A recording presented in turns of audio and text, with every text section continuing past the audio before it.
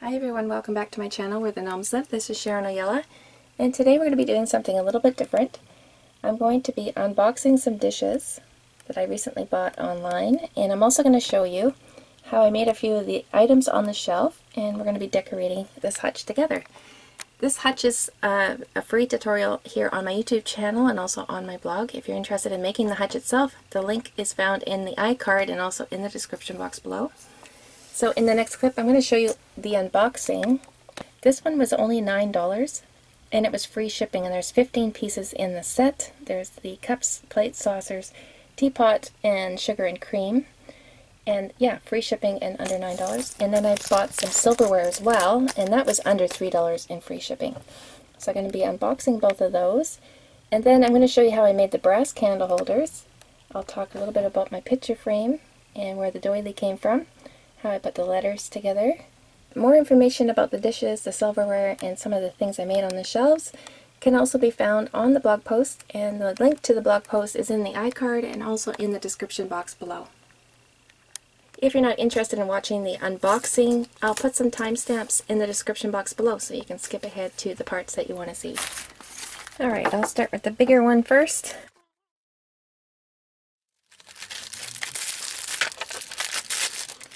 Oh, it's so sweet.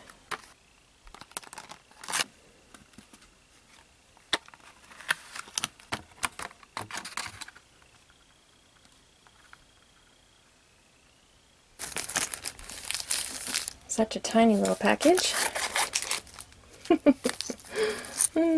Oh, they feel like metal. Sounds like metal in there. I got four of each. And you can see I got an extra spoon. So somebody made a mistake in the packaging, which is fine by me. I'll take an extra spoon. So I went back to the original listing to check out the material used, and it is stainless steel. Now I thought that was just the color that they were referring to because you could choose from steel or gold, and I chose these ones. So I'm quite happy with that. Solid little pieces. Make sure that you check out all the different listings for silverware. Uh, I've seen them go as high as $15 for the 12 piece set and I got mine for under three with free shipping. Again, more information in the blog post. So you don't have to spend an arm and a leg on these things. Porcelain with a painted blue flower and gold trim.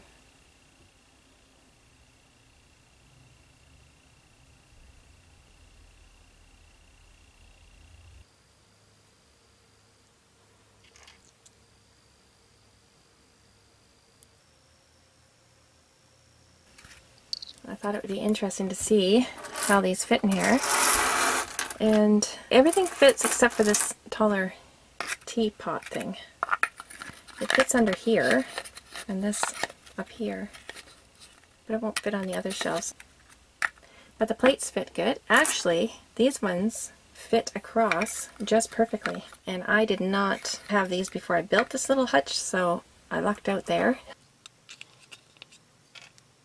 So all these pieces here are being held in by a little bit of this stuff here. And I found this in a thrift store, but I actually looked online just now and you can buy it on Amazon. It's for the bottom of candles. And you can wash it off with hot soapy water and it's like a wax. Like a sticky wax. And I use a little bit on the bottom of my dishes here. I just put the piece in there. And I used to have this in here already and I, did, I wanted to see what it looked like when I took it off. And it had a little bit of that uh, waxy stuff on there and I just pushed it off with my finger and it came right off. And then that just holds it in place without permanently gluing it down. Alright guys, let's talk about my little photo frame and doily. The doily is a cutout from a piece of lace trim actually. I found the lace trim in a thrift store. I just cut out that little shape in there.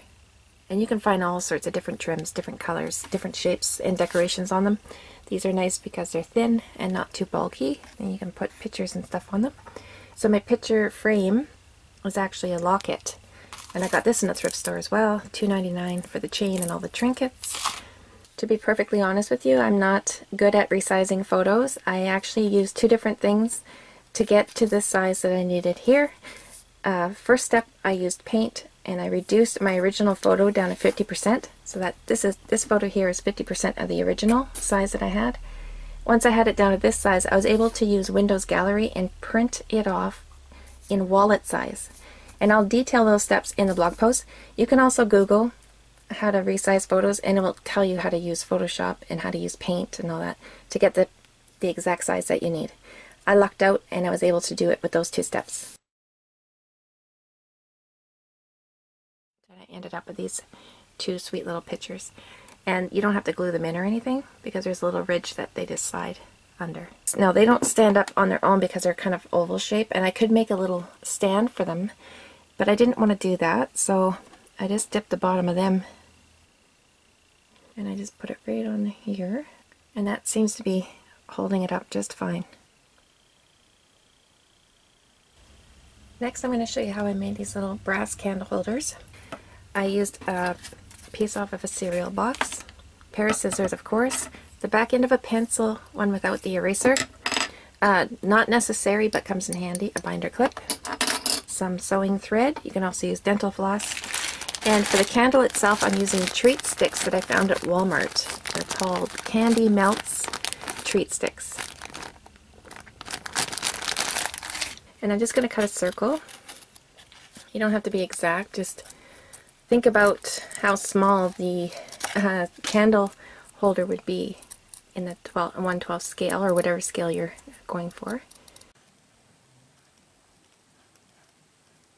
This is one inch ruler it's a half an inch across. So I'm going to take my pencil, I'm just going to push it right in the middle and then push up from underneath around, kind of shape it around that pencil. Okay, now I'm going to make the handle off the same cereal box. And I shaped the end of the handle just a little bit. Something like that popping in with an edit so you know that you can Google those uh, antique candle holders and it will show you all different sizes and shapes of handles. You don't have to do the exact same one that I'm doing. The reason why I chose a handle like this was so I can easily grab it myself. If I put a little tiny loop here like a lot of them have, it would have been a little bit more difficult to just pick up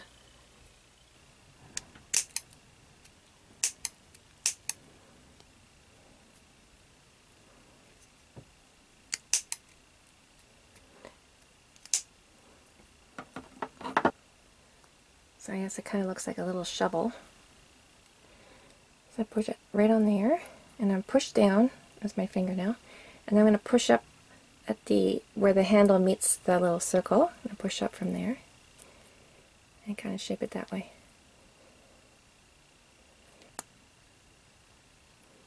Okay,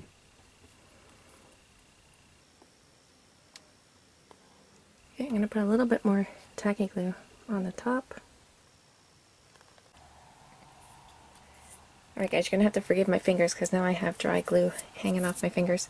So the original ring that I made on this little candle holder here, that little ring that goes around the candle itself, I originally made just a strip like this and then I made a, a small circle, one that my stick would fit into, and then I just laid it inside a bunch of glue and that worked for me. It was a little bit annoying because I had to keep making sure that the end stayed closed.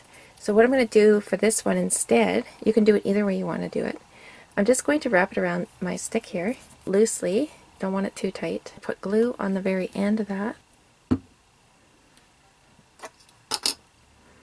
And remember, uh, a bit loose, you don't want it too tight, because then it'll be hard to get it off the stick.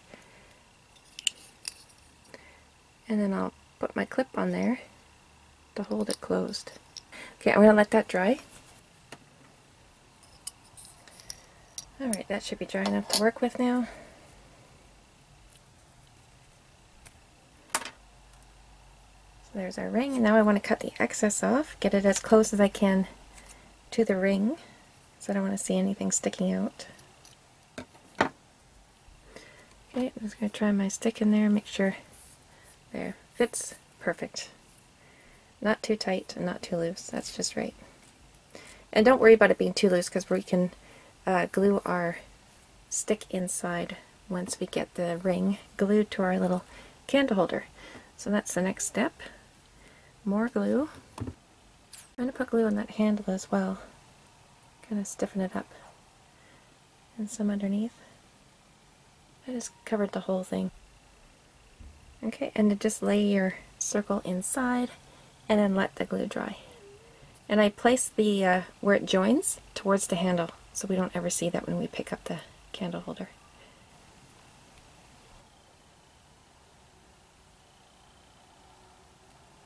So now it's ready to be painted.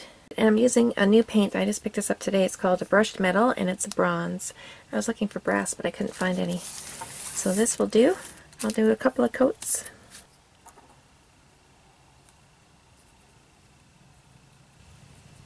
So once you have it painted, you you'll find that it's pretty stiff, especially if you put the glue on the handle like I did. It's actually pretty stiff. And if anything is bothering you around the edges, you can use your pliers, nose pliers, and straighten those out. Uh, the edges, I mean. So next we'll make some candles. And I'm using those sticks, like I said. You can use anything. Uh, when I first started making miniatures years ago, I would actually use a real candle, melt it down, and dip dental floss or whatever I had in there and just make a real candle. You can Google how to make candles. So I'm going to leave this long for now. And the ends, where I'm going to stick the wick into, I'm just going to take a little bit of sandpaper and I'm going to rough up the edges.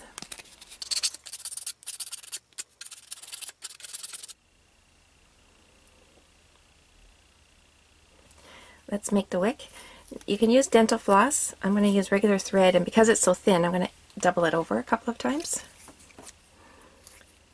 Okay, double it over once, twice, and that should do it. Now I have a little loop there, I'm going to twist it. And I can put some glue on there just to keep it all together. And then run it through my fingers and twisting at the same time. I'm just going to cut off that little fiber I saw at the end there. There's a little bit of a stray fiber. There. Okay, I'm going to use a pin to push this into the hole of my little stick. I just lay it across the hole and I'm going to push it in with that stick and it takes a few tries which I've got it shoved in there now. I'm going to put a little bit of glue there and then just a few globs around the side.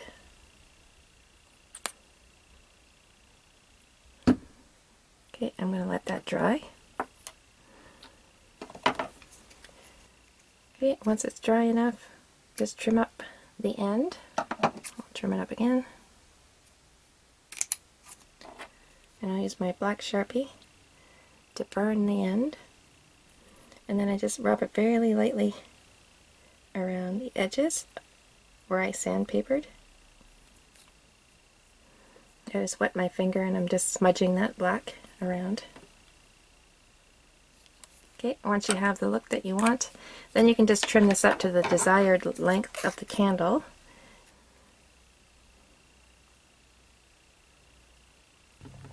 And we can stick our little candle in there. And if it's too loose, of course, you can glue it in. The book that sits on the top shelf is nothing spectacular. It's actually just a little segment out of a magazine spine that I cut out. I cut the whole spine out so I didn't have to glue anything together. And then over top of that I glued a piece of canvas from a real uh, book that I had that was falling apart. And I saved the canvas for crafts. And the picture of my gnomes is just an image I printed off from Google using the same steps that I used to make my other little photo frame there to shrink it down. And then I glued on some cardstock on the back, roughed up the edges to make it look like it's worn out. My stack of letters is coffee stained paper that I cut into strips and folded them over into shapes of envelopes. Scribbled on the front with pen, added some colored paper for stamps, and then tied them all together. Alright my friends, that brings us to the end of this video. I hope you enjoyed this video. I hope it gave you some ideas in decorating your own little hutch. If you do make a hutch like this one, or make any of the things on it, I'd sure love to see. You could post pictures on my Facebook page, where the gnomes live. Thanks so much for watching, and we'll see you super soon.